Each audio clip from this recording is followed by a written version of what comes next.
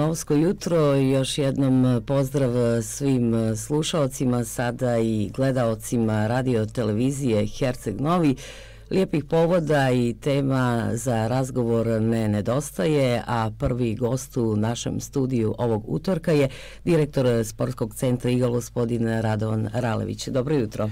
Dobro jutro, hvala na pozivu, da pozdravim vaše slušalce i gledaoce i da poželim jeli, odličan i još bolji nastavak uh, rada televizije i radija Herceg Novi. E, također iste želje i za sportski centar Igalo koji je i ove godine bio domaćin brojnih turnira i takmičenja 51. praznika Mimoze od prvog međunarodnog turnira u ženskom futbalu preko košarke, streličarstva do turnira u borilačkim sportovima, džiu-džicu i judo, pa do stonoteniskog turnira proteklog vikenda. Kako ste vi zadovoljni kao domaćini i kakvi su utisci komentatori, organizatora i učesnika? E, da, sama, sama Mimoza je donijela, odnosno donosila i godinama unazad, ali je sve više i više aktivnosti u oblasti sporta, znači što se tiče uh, praznika Mimoze. Ove godine smo imali, da kažem, zavidan broj takmičenja i sve više interesanata da organizuju bilo koju vrstu uh, takmičenja i uh, sportske atrakcije, da kažem, onaj, tako da da se čak i smišljaju novi sportovi i evo vidjeli ste imamo čak i picigine i brišku i trešeta i nešto uh, da kažemo interesantnije za naš, za naš grad i za naše područje ovdje. Uh, što se tiče sportskog centra, eto kao što ste i rekli imali smo mnogo, uh, mnogo dobrih priča, mnogo dobrih sportskih uh, ideja i između ostalog eto i taj ženski futbalski turnir gdje nam je u goste bila jedna crvena zvezda je protekao fenomenalno i još jedno novo uh, još jedan novi turnir i još jedna nova sportska priča je upravo stoni tenis koji je završen sad ovaj vikend uh, koji nismo imali do sada jeli, onaj nije učestao da, da bude kod nas tako da i to je jedna odlična organizacija kao i sve ostale koje su bile tako da mi smo zadovoljni. Samim tim uh, mi smo obogatili ponudu sa tim hotelom i restoranom gdje ti sportisti i sportiskinje odnosno klubovi mogu da dođu da prisustuju i da dobiju jedan cjelokupan paket, što im ulakšava ili da dođu i da prisustuju turnirima i učestuju, a i samim organizatorima da mogu da smjeste ekipe. Nakon decenije prilično slabe iskorišćenosti kapaciteta i potencijala ovog objekta i pored objektivnih manjkavosti, zahvaljujući idejama, entuzijazmu, velikom radu i trudu ekipe na čijem ste čelu, poslednje dvije i po i nešto više godine Sportski centar Igalo je postao centar raznih brojnih dešavanja. U njemu se organizuju lige, turniri, kampovi, pripreme, seminari. Tako je, tako je. Mi smo, eto, trudimo se da, da Eh, unapredimo poslovanje i da sportski centar stvarno uh, dobije, dobije ono stvarno zvanje uh, njega i, i sa kvalitetom usluge da, da podignemo to na mnogo veći nivo. Uh, samim tim otvaranje hotela i restorana uh, i uh, da kažem idejama te lige i turnira koje organizujemo u sklopu opštine, mi smo animirali veliki broj uh, domaćih, odnosno naših novljana uh, i novljanki i e, interesovanje je veliko. Svakako, u svakoj oblasti sporta, u svakoj ideji, e, pored toga organizujemo i seminare, edukacione radionice, tako da da ima dosta tih nekih priča koje su, ajde da kažem, vratile malo e, naše, naše, naše ljude u taj pravac e, sporta, u taj pravac, da kažem, malo zdravog druženja i, i društveno korisne uloge u, u, u ovom, ovom gradu. Tako da mislim da smo na dobrom putu da to naravno onaj podignemo na još veći nivo i da a, pružimo još bolju i kvalitetniju uslugu našim novljanima. E, nekako je sportski centar oživio i mimo tih dešavanja kada su neki turniri, e, utakmice prvenstvene, jer se novljani sve više okupljaju, recimo ljetina Ligi odbojke u Pijesku, zimi Liga stonog tenisa, Tako je, tako je, znači to su, to su stvarno super priče, mi smo sa, sa tim, ne samo, evo ja sam rekao novljani, novljanki, naravno za sve važi, ali nama je akcenat bio što se tiče tih ligi uh, koje, su, koje su iz projekta Elite 5 da, da, da uglavnom okupe naše domaće uh, i sama odbojka na pjesku koju, koju evo već dvije godine Eh, organizujemo, nadam se i ove uspješno onaj da ćemo organizovati, eh, je stvarno fantastičan projekat i veliki odziv eh, što djevojaka, što momaka, bilo kojih uzrasta, znači grupacija, odnosno ciljana grupa ne postoji, svi su pozvani, onaj, tako da je jedna fina priča, mi smo ove godine čak i na plaži organizovali jednodnevni turnir, instalirali smo dolje na Titovoj vili E, teren za odbojku na pjesku, odnosno u Plićaku, tako da je i to bila jedna interesantna priča, kao i e, Liga stonog tenisa, koja nam je čak i najlakša za organizaciju, jer to stalno imamo, da kažem, učesnika i e, amatera i ljudi koji hoće da se bave tim sportom, tako da, da možemo i mnogo bolje i ukoliko budemo u prilici da organizujemo taj jedan cjelokupni projekat koji, za koji postoji cijeli plan i program, onaj, nadam se u budućnosti, bit će odlična, odlična priča za, za naš grad. U najavi je još jedan interesantan izazov e, prvi put e, spektakl u tenisu između, da kažemo, nekih starih asova ili veterana, kako to ljepše zvuči, i oni koji sada nose taj sport u Crnoj Gori. Tako je, tako je, to je isto super priča. E, naši zaposleni, između ostalog, e, gospodin Dado Miletić je e, dugogodišnji trener i njegova ideja je da upravo okupi, e, da kažem, e, igrače i igračice e, iz e, lokalnog kluba i lokalnih klubova e, kao i veterane koji dalje treniraju, odnosno igraju na našim terenima, da napravi jedan spektakl, da pozove naravno sa, sa svih ostalih područja Crne Gore kao iz e, okolnih zemalja da onaj učestvuju na tom to turniru. To će biti jako interesantna priča upravo zbog te ideje gdje će se susreti susresti stari sa mladima i smatram da će i to biti jedan izvanredan projekat. E, pomenuli ste hotel i restoran. Otvaranjem hotela Play prije nepune dvije godine je kompletirana ponuda sportskog centra Igalo i obogaćena turistička ponuda Herceg Novog, a potvrda kvaliteta usluge i srebrna medalja na 52. Međunarodnom sajmu turizma u Novom Sadu. Tako je, to dobili smo i tu vrijednu nagradu za nas svakako, pošto smo jako mlad, da kažem, hotel, iako postoji toliko dugo, mislim, od osnivanja sportskog centra, naša ideja da to preuzmemo i uz, naravno, podršku opštine Herceg-Novi je urodila plodom i taj efekat pozitivan svakako se odrazio u u ovim godinama i u, u svemu onome što na osnovu izvještaja vidimo kako funkcioniše preduzeće. Tako da smatramo da, e, da je hotel zajedno sa sportskom uslugom i restoranom e, jedna odlična priča i da e, slobodno ima prostora da se širi kapacitet što soba, što restoranskog dijela kako bi mogli da imamo, da kažemo, prostor i za svadbe posebno i za kongresnu salu i sve ono što hvali ovome gradu, a isto tako sa sobama koje već u sezoni znati i sami su popunjene, pa tako ne možemo da ispratimo još neka dešavanja koja imaju, a Bogu hvala ima ih dosta u Herceg-Novo. Ove godine ste prvi put organizovali doček nove godine koji je zaista bio lijep Da, eto, potrudili smo se da i to ispratimo, gledamo koliko možemo, naravno da ne opteretimo i našu e, radnu snagu, odnosno zaposlene u sportskom centru, hotelu i restoranu Play, e, s obzirom da su praznici u pitanju i da je duga godina i da mi stvarno nemamo odmori slobodne dane, da se kod nas radi praktično 24 sata. Onaj, tako da, da e, smo pokušali, odnosno odradili smo i tu priču i sami tim smo i zadovoljni. Vidjeli smo da možemo postignemo sve, da stvarno restoran e, ima sve uslove da napravi bilo koju priču tog karaktera e, ili sličnog, e, tako da eto, nadamo se da ćemo narednu godinu još bolje da pripremimo, da organizujemo, jer pored nove godine imamo još dosta dešavanja, tako da imamo u planu i to.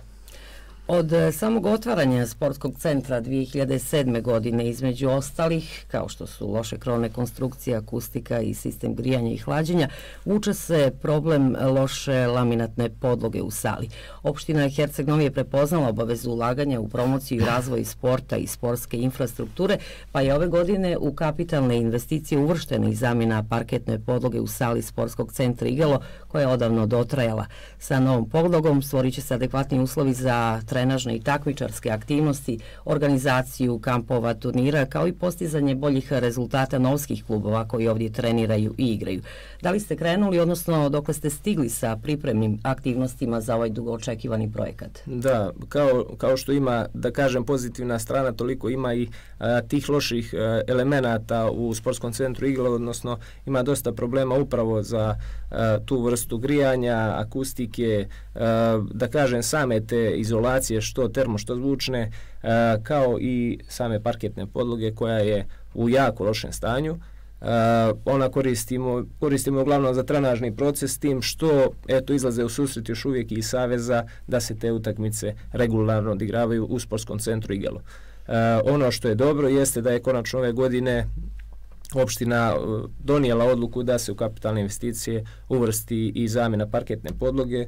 To je odlična priča za grad, za sport e, i za upravo klubove koji imaju ambicije da naprave neki veći rezultat, e, eto recimo da iz košarke jednog dana ugostimo ovdje zvezdu ili budućnost ili neke velike klubove, a, samim, samim insta, samom instalacijom tog novog parketa mi ćemo dobiti mnogo. Znači, mi smo ti koji su pre, počeli sa pripremama tenderske dokumentacije i svega potrebnog, radimo analizu svega onoga što je bitno za kvalitetnu pripremu, svega toga u saradnji sa opštinom.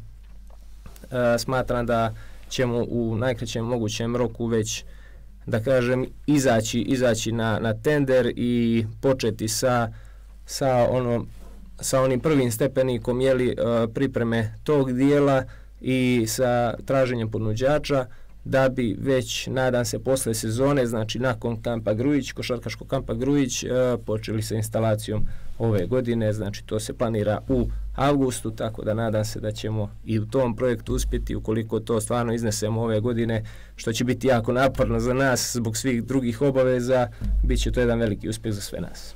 Eh, je li riječ o projektu iz 2013. godine u onom tehničkom elaboratu za sanaciju podne betonske ploče i montaži novog parketa? E, sad sistem same ugradnje će biti možda drugačiji s obzirom da mi imamo dolje, da kažem, urednu podlogu i postoji mogućnost da sa ovim parketom i tom vrstom izolacije, odnosno tim uh, podletvama a, koje idu ispod parketne podloge napravimo, napravimo uh, uh, jedan kvalitetan parket uh, koji će naravno uz garanciju uh, onoga koji bude radio instalaciju uh, biti, biti kvalitetan.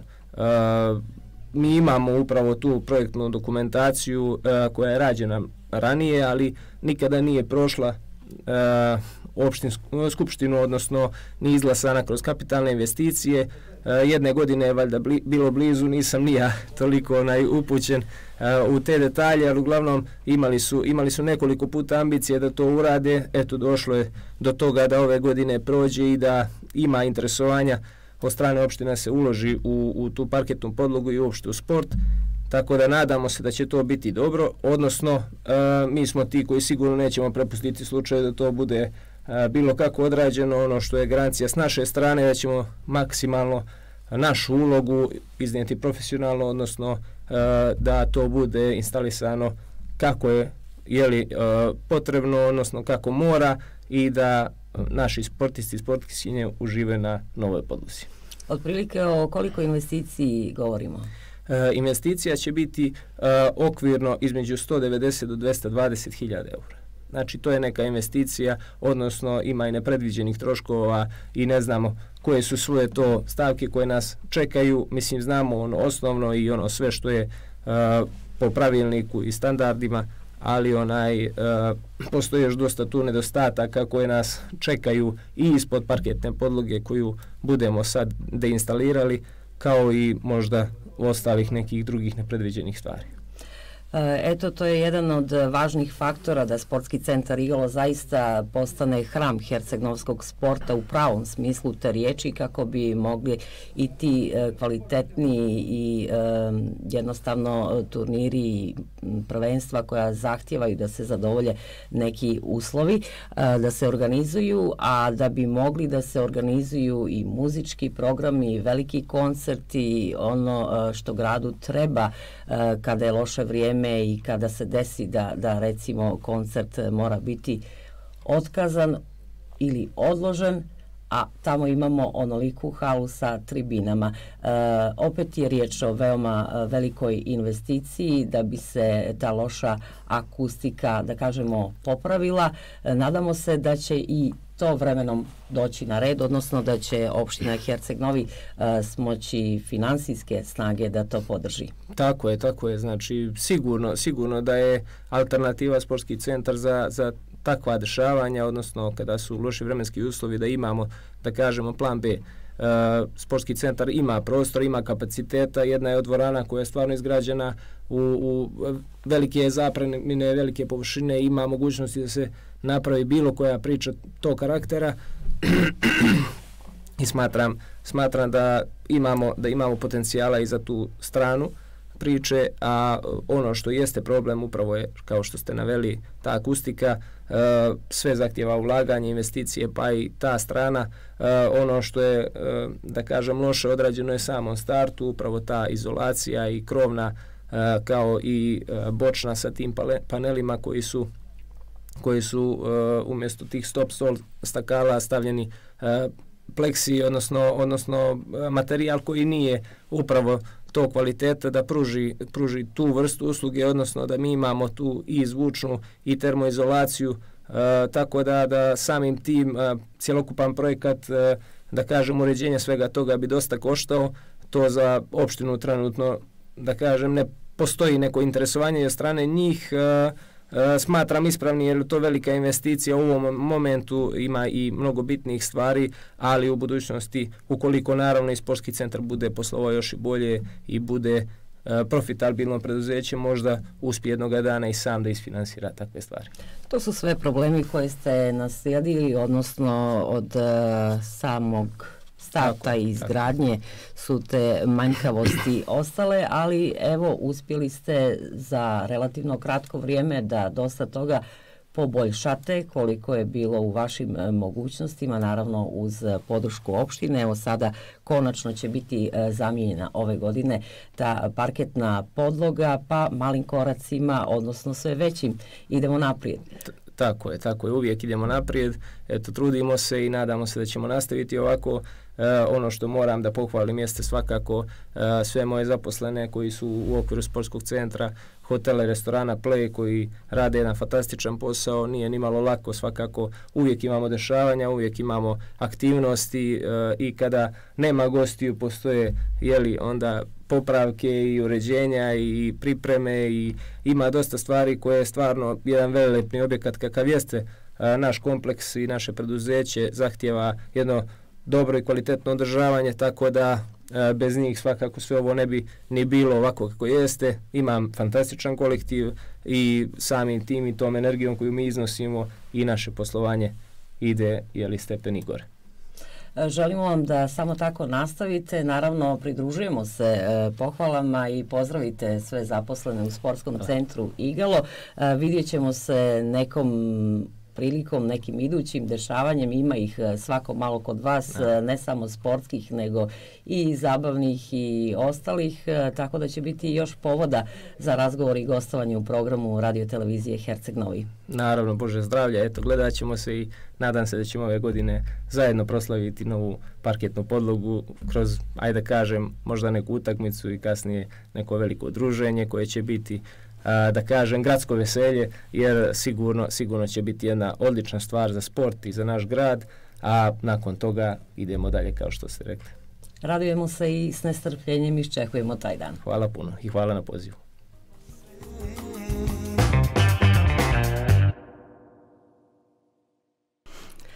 Novosko jutro na talasima radio televizije Herceg Novi. Imamo zadovoljstvo da pozdravimo još jednog gosta, odnosno gošću. E, nova tema je e, Suan Pan program, a naša gošća je Borislavka Golović-Kažić e, iz obrazovno-razvojnog centra INESKA, koji već pet godina u Crnoj Gori uspješno primjenjuje ovu tehniku. Dobro jutro i dobrodošli. Dobro jutro i vama, pozdrav slušalcima radio televizije Herceg Novi. Vi ste licencirani zastupnik svojom Pan mentalne aritmetike za Kotor Tivat Budvu i evo radujemo se što sada imamo priliku e, da se sa svojom Panom upoznamo i u Herceg Novom. E, postoji već odavno u Podgorici, a sutra počinje sa radom prva grupa polaznika u našem gradu, što je i povod da našim slušalcima i gledalcima ukratko predstavite ovu tehniku. Pa evo ja ću kratko reći, suampan mentalna aritmetika je drevna vještina koja je negdje znači, primjenjivana na Bliskom istoku, ali u posljednjih, da kažemo, deset godina je prenijeta i, da kažemo, na ovaj istočnu Evropu, naravno prije toga i u zapadnu Evropu, Ameriku i tako dalje.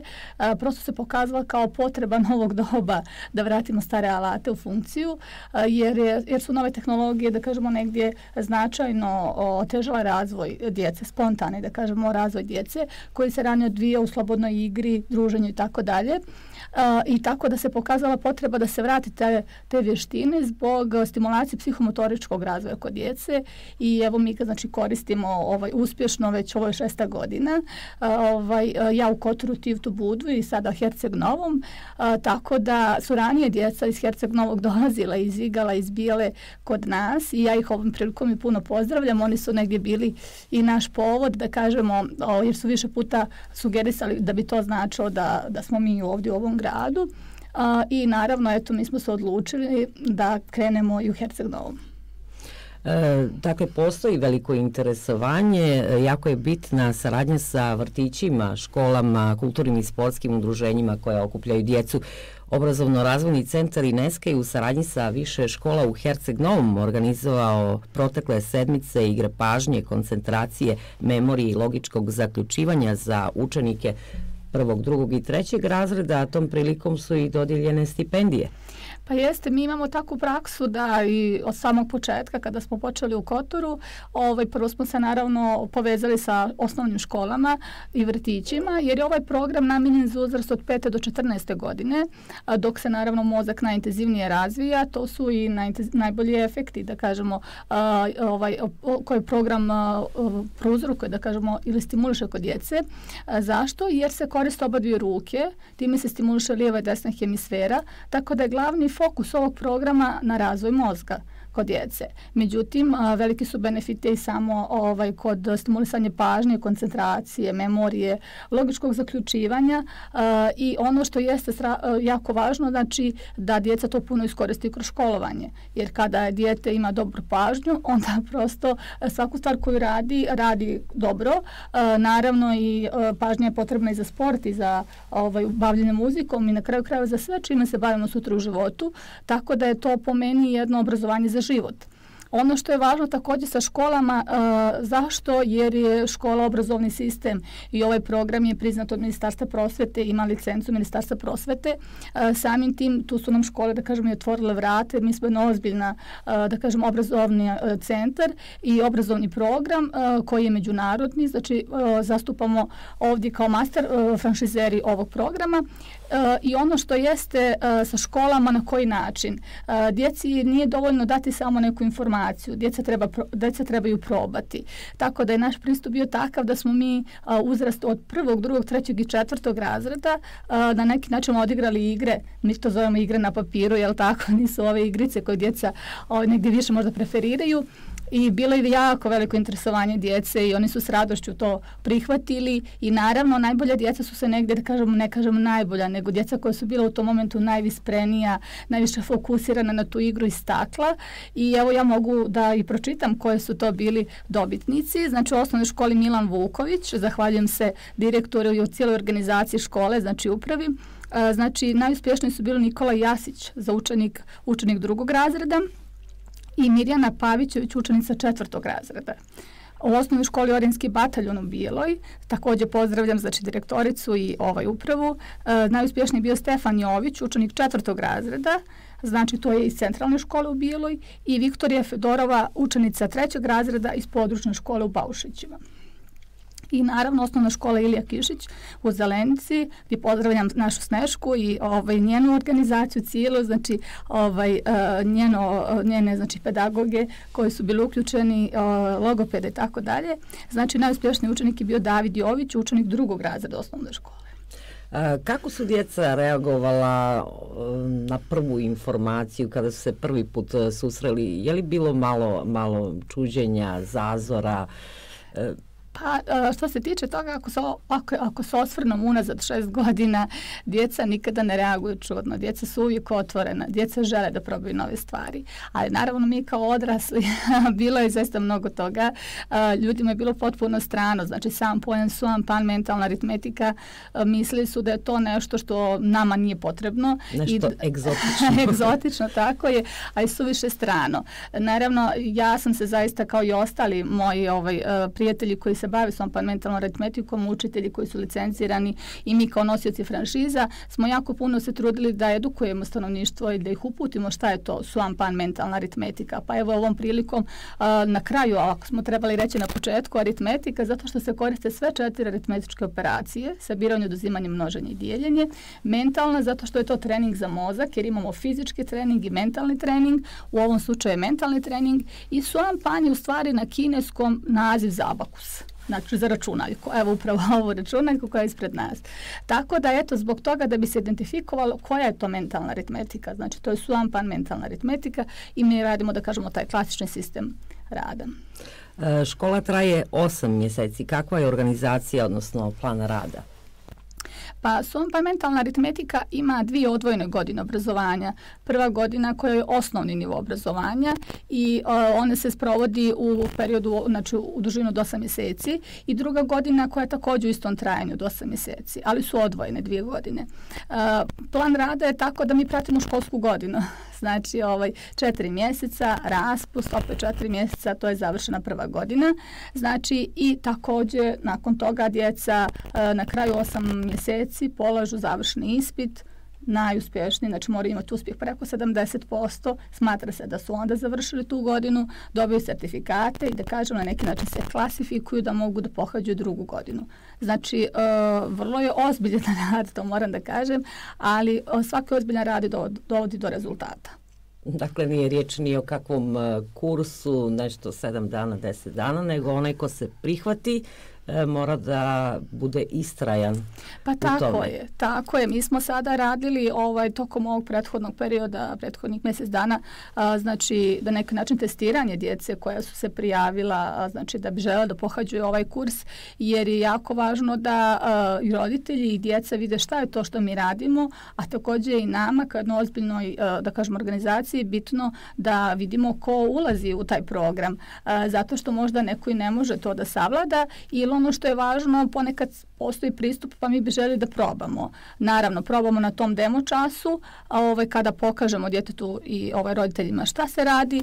Međutim, naš pristup je da se nakon toga definiše da je to ozbiljan rad, da je to rad od 8 mjeseci, da je to rad koji traži zaista veliki kontinuitet i onda samo najozbiljniji koji su motivisani da žele da istraju i da shvataju, a sada zaista ljudi znaju da je to rad, da to nije nekakva radionica i ne može da bude radionica. Znači, zato što se program mora pohađati svake nedelje, tri školska časa i završavati domaći rad koji je, opet da kažemo, nešto što je uslov napredovanja.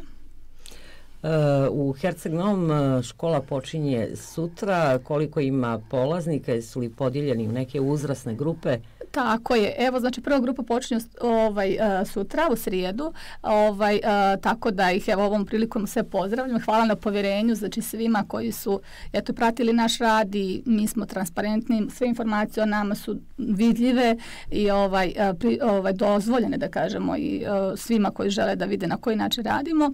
Ono što jeste važno, znači uh, interesovanje jeste veliko, znači s tim što je ovo za nas pomoćni upisni rok, jer glavni upisni rok je septembar, kada sva djeca biraju aktivnosti za cijelu godinu, tako da smo mi zaista zadovoljni s obzirom da vrlo malo ljudi znaju da postoji upisni rok u, u februaru.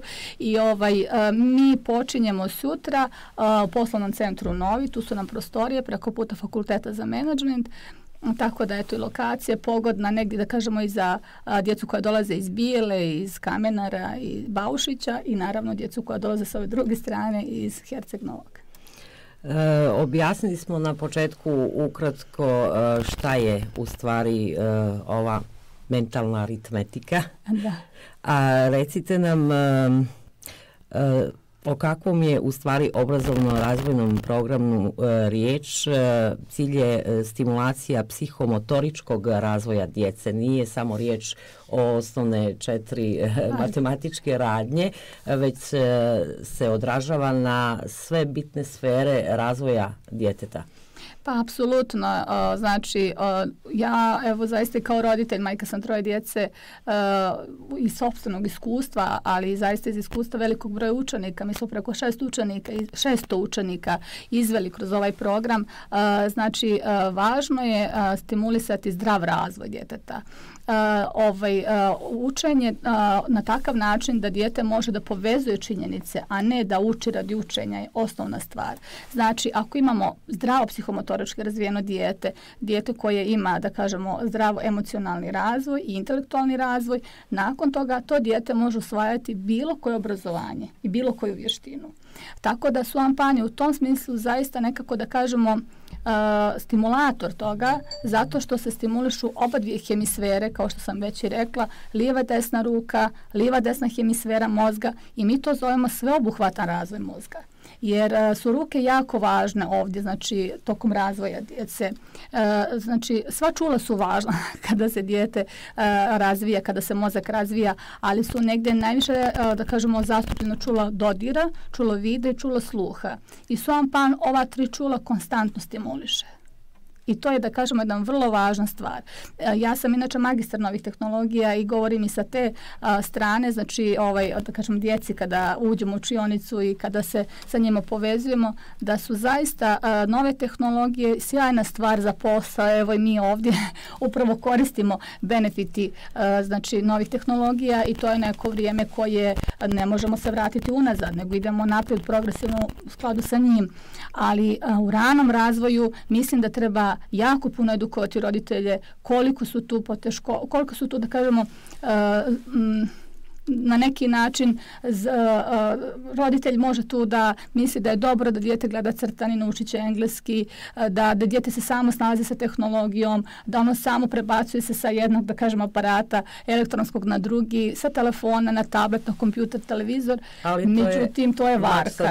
Tako je, upravo to postoji, znači veliki, veliki nedostaci u tom ranom uzrastu, kao što i sami znate, oko je statično, gleda jednu sliku, nema akomodacije oka, znate, ruka, noga, ovaj, da oko bude aktivno kada, kao kad se dijete igra.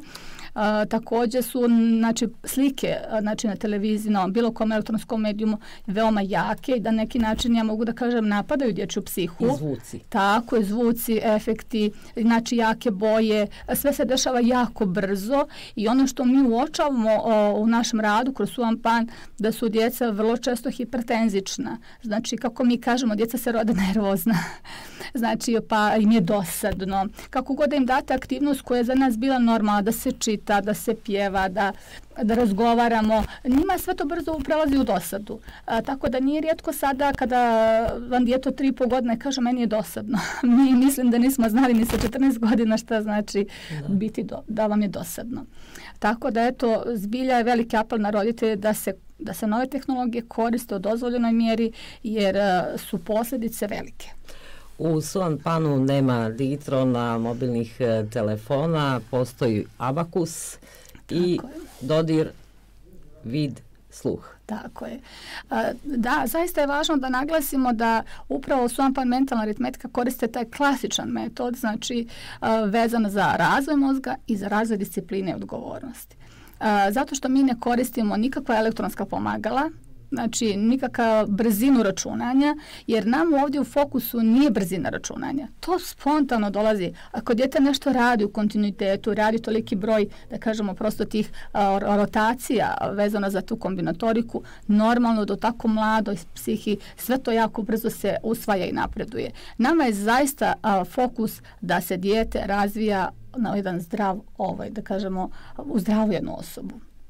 E, možete li nam predstaviti neke od e, tehnika ili vježbi memorije, koncentracije, logike, ono što ste pomenuli? Pa da, znači ono što jeste važno da djeca uh, ovaj usvajaju rad na suam pa, kroz uh, računajku, kroz taj uh, odrveni abakus, ali ono što jeste još uh, ovdje na ispred nas se vidi također ta flash kartica uh, da ovaj koja u stvari uz pomoć koje dijete razvija vizualizaciju kao što je e, ona imitacija računaljke, dijete hvata te kuglice i stvara slike. Vrlo brzo dijete odbacuje ovaj alatić i nastavlja da koristi, mi to zovemo mentalni rad, to jeste, kako bismo mi to ranije rekli, usmeno računanje, znači bez pomoći papira, olovke, računaljke, dijete prosto prebacuje kuglice. Ono što je najvažnije da to nije samo igranje kuglicama, nego e, postoje 34 kombinatorike, a mi to možemo nazvati matematičke jednačine, koje su rotacije u naprijed i rotacije u nazad. Ja vrlo često to kada objašnjavam roditeljima, trudim se da budem realna, da ne bude previše abstraktno a, kada pričamo o tome. Isto kao kada gimnastičar ide po gredi, jel tako, pa radi salto naprijed, to su te kombinacije u plusu, a onda nakon toga kombinaciju minus kad radi salto nazad. A, tako su ovdje svi zadaci, na primjer 45 plus 78 minus 68 ili bilo šta, vidite da je to u plusu i u minusu, kao što je u klasičnoj matematici mnogo mnogo lakše sabirati. I djeca u ranom uzrastu prvi i drugi razred a, znači vrlo često imaju poteškoće kada rade rotacije znači s oduzimanjem. Tako i da je kod nas znači to je jedna zaista vrlo zahtevna mentalna aktivnost, a ono što je najvažnije, djece to ne pada teško jer se djeca u stvari svo vrijeme igraju na toj računaljci je zato što je vrlo jednostavan nalat do, do di, znači na dodir dijete osjeća, znači sa, šalje impuls u mozak, ono vidi, znači ima boje plave, ima narandžastu. uočava da su plave, znači, uh, znači 1, 10, 100, a narandžaste su znači 5, 50, 500. Dijete se spajate kuglice i stvara brojeve. Tako da se oni zabavljaju. Znači, jer na papiru je učenje malo dosadnije, moramo priznati, prepisivanje sa table, prepisivanje iz knjige. Ovdje se jednostavno sve odigrava u realnom vremenu, znači u datom momentu kada smo tu. I a, djeca vrlo lako izbrišu, gurnu kugljice nazad i opet krenu iz početka. Tako da je to jedna zabavna igra, samo što je jako važna stvar kod djece a, ovaj, trenirati istrajnost jer današnja djeca imaju uh, puno toga, puno, da kažemo, sadržaja koji im se nudi i onda ih sve malo probaju pa iz, izgustiraju, pa kako mi to novo, kažemo. Da. Tako je. Tako da mi istovremeno i učimo roditelje da budu istrajni, da od djece traže da istraju onome što preuzmu određenu obavezu, da je to na kraju krajeva uloga roditeljstva, jer djete nije svjesno zašto nešto radi ili zašto mora da istraju tome, ali je svjesan roditelj, jer je to škola za život. E, tako da, eto, moj savjet je što god da se izabere, da se da kažemo na neki način dijete stimuliše i ovaj e, pozove na odgovornost da tu stvar i izgura do kraja. E, Suan Pan program je u stvari svojevrsno ulaganje u, u svoju djecu, nevezano samo za uh, rezultate u školi koji su opet uh, sigurno obuhvaćeni i ovim je rekli ste pratite školski program, nego jednostavno da to dijete sutra postane e, zdrav čovjek, e, emocionalno zreo, e, socijalizovan. Tako je. Pa upravo kada govorimo o djeci ranog uzrasta vezano za djecu od 5-6 godina, kada sam ja krenula program da radim u Crnoj Gori 2015. E, mi smo krenuli po programi po licenci kao što se primenjuje svugdje u svijetu i u Srbiji, jer je nosilac generalne franšize bila Srbija, firma Promens u Nišu. Ovaj, a, e, međutim, vidjeli smo da kod nas postoje malo poteškoća, da kažemo za djecu našeg uzrasta pet godina, pet i po, iz prostog razloga što, da kažemo, taj predškolski uzrast je jako važan. Mi imamo, na primjer, preporuke kao što se radi u Evropi, a, e, Evropskog sistema obrazovanja, da je predškolski uzrast, znači to je stimulisanje djece za školu, upoznavanje sa temama i sa vještinama koje su važne za školu, da ih treba tretirati dvije godine. Znači od četvrte do pete, od pet, znači da kažemo od pet i pol do šest i pol i sa sedam negdje da krenu u školu. Tako da smo mi prije tri godine implementirali program Vijugica, a, znači za pripremu djeca, da kažemo, za školu, znači koje se odvija na uzrastu od četiri do pet, pa onda nakon toga program da nam škola bude laka, koji je na uzrast, da kažemo, 5, 5,5 do 6,5 i tek onda ih upisujemo na svojom planu. Zato što je, šta je važno ovdje? Važno je naučiti djecu postepeno da prihvataju teme škola. Važno je naučiti da sjede. Znači prvo 10 minuta, 15, 20, pa da bi znači dalje ovaj, se razvijela. Da drže pažnju. Da je taj fokus prisutan. Da sazrijeva ruka. Ruka mora da sazrijeva radom znači ne samo godinama. Tako da ovaj a, sve na neki način djecu kad postepeno stepenicu po stepenicu pripremimo, njima ta škola ne bude stresna. Znači dijete je socijalizovano dobro, sjedi u grupi, osjeća se dobro, učestvuje u svim radnjama, također emocionalno, znači da dijete ne plače kad dolazi, znači ili znači kad mu je nešto novo, to promijenila su učiteljica ili nije došao najbolji drug u grupi, znači da dijete to ne utiče direktno i također intelektualni razvoj da dijete svojim mozgom može da prihvati, da kažemo i usvoji ono što se daje kao tema. Tako da su te tri stvari jako važne, a nakon toga zaista, znači evo kažem, su vam plani pokazuju izuzetne rezultate i mi najviše volimo taj rani uzrast jer je lakše učiti nego popravljati. Da. zato, zato što se djeca igraju brojevima i ovom ranom uzrastu oni zavole matematiku, oni se prirodno povežu kao kad uče jezik. Znači jezik se ne uči u ranom uzrastu, jezik se usvaja. I ovo se usvaja mnogo lakše nego da se sjedne i buba, ono tako što bi mi rekli u školi. Je. Tako je, tako da eto, znači, o, evo ja kažem, znači mi smo i ovom igrama tretirali uzrast do četvrtog razreda ako se pitate zašto, zato što je do tog uzrasta djeca još uvijek imaju više interesovanja za stvari koje se tiču obrazovanja. A program, znači posle, da kažemo negdje petog, šestog, sedmog razreda, sve manje djece imamo, što je negdje kod nas, da kažemo, mislim, veliki hendikep, jer upravo ta djeca, i, u, da kažemo, završavaju razvojnu fazu i mogu da izvuku još neke benefiti za razvoj svog intelekta, ali njih, eh, oni se manje interesuju, više ih zanimaju socijalne medije, telefoni, druge stvari i vrlo često znači negiraju da žele nešto da, da rade od toga. Da, treba krenuti na vrijeme od predškolskog uzrasta, onda su i najbolji rezultati jer je dijete tada i najprijemčivije upija kao sunđer sva znanja. Pa da, upravo, znači negdje i medicina je pokazala da se većina, da kažemo, o sinapsi, to negdje čak oko 70% naše inteligencije razvije do neke 7-8 godine a onaj ostatak od 30%, znači negdje do 14. Tako da eto, to je zlatno doba razvoja mozga. Prosto to je apel na roditelje da da zaista kad osjete da su djeca hipertenzična, da su nervozna, da ovaj ne slušaju, ne drže pažnju, ne uspostavljaju kontakt sa očima, ne mogu da istraju ni čemu što, što im date kao nekakvu, da kažemo, obavezu ili e, ovaj nešto što im ponudite, da moraju da potraže i savjet stručnjaka i eto mogu i nas da kontaktiraju jer i mi u centru imamo ovaj logopeda i psihologa E, tako da e, se da vrlo da kažemo jedan prijateljski savjet na čemu da obraća, obrate pažnju jer vrlo često te stvari počnu da budu vidljive kad djete krene u školu.